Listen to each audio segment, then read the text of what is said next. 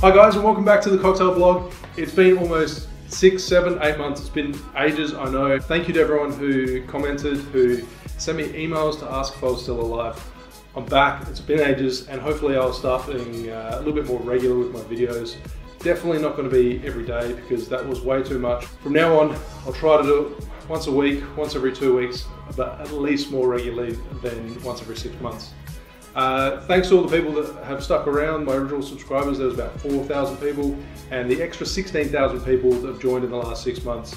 Hopefully enjoy the video, uh, and then you stay subscribed uh, and keep watching. So today I'm going to make a death flip. Uh, so this one was first made by one of the lads at Black Pearl in Melbourne. Uh, this is actually a variation because it's meant to be made with yellow chartreuse. I'm going to be using green chartreuse. I wasn't going to go out and buy a full bottle. It is different. I'll leave some details in the description below so you can have a bit of a read. But I figure this is at least going to be a way to give it a try. Uh, and it's been on my list for ages. So first of all, start with a Blanco tequila. So I'd probably prefer using like um, Herradura, but today I've got uh, Espolon. I think that's how you pronounce it. So full shot, 30 mils or one ounce, and add that into the shaker.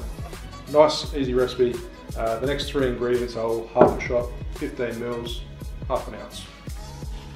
So today this is the green death flip.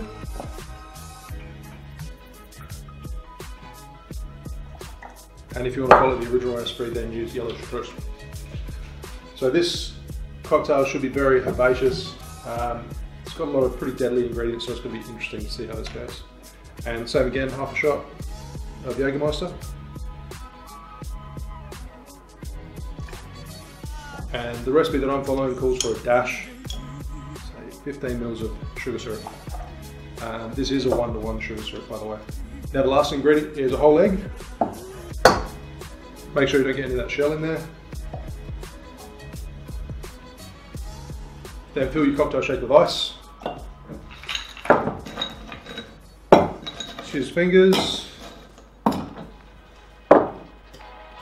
And then give it a good shake.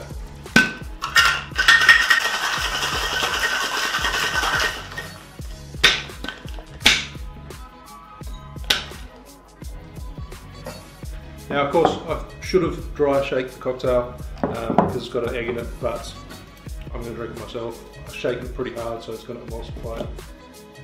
And then straight into your Nick and Nora glass. It's got a real nice, thick, creamy texture to it. Then to garnish this one, ground nutmeg. So there you have a green death flip cocktail. Uh, if you want to stay true to the, uh, the modern classic recipe, make sure you use uh, yellow chartreuse.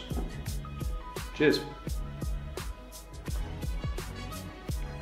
Oh, I absolutely love flips. The, the, creaminess and the texture is just beautiful, like really nice mouthfeel. Um, and this cocktail, surprisingly, uh, the sugar balances out the, the chartreuse, the tequila, and the Jägermeister. Very herbaceous.